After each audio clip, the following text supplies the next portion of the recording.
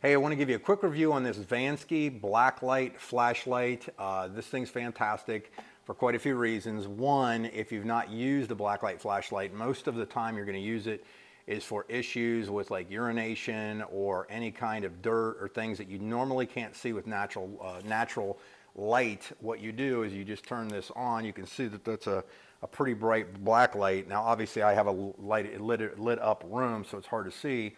But you can, if you want to look right into that, I think you can kind of get the idea.